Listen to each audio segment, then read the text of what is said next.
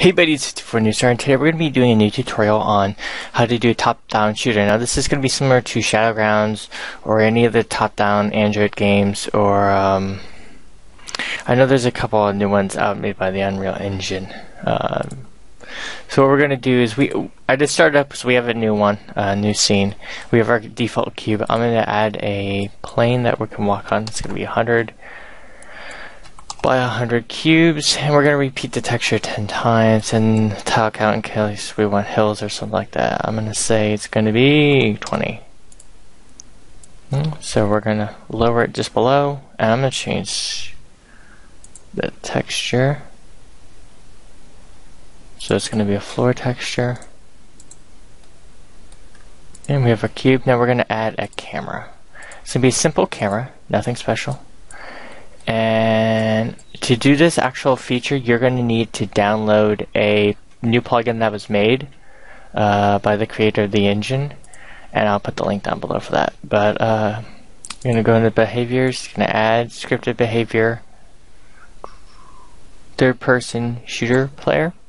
And you're going to put this in, you, you should have a folder called documents and something called CopperCube. And you're going to see something called plugins. And you're going to see them both folders.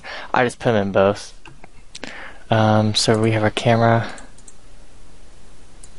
Actually, you want to uh, add this to the actual object.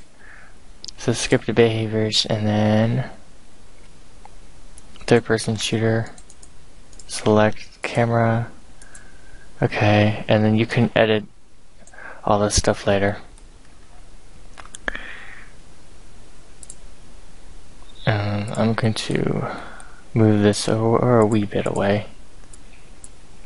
This is still in its beta process. He just released a quick code, um, so there may might still be some bugs, but it's finally allowed me to uh, start working on a top-down shooter tutorial for you guys.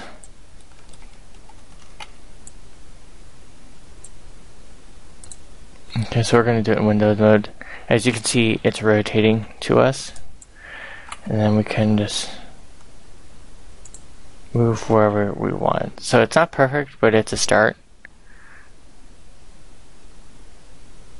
And then you can start doing a animated character and have the character move and shoot and all that stuff, which we'll actually be doing. So I'll be setting up a menu, a story background, and all that stuff, which I already have one. So we're going to be skipping from this to that with the animated character and scene and all that stuff. So this was just a quick intro into how to do a top-down shooter. Again, I'm going to do a put a link down below where you can download it and it will work with the older versions of CopperCube to the newer ones. Um, and I will see you in the next tutorial. Bye guys.